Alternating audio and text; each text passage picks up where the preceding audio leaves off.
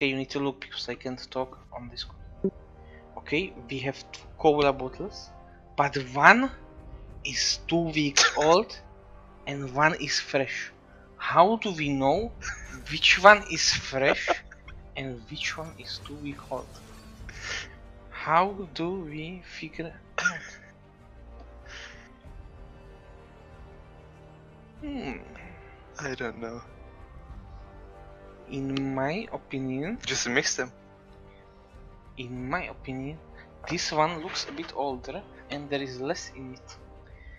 So I will go with the chances this one.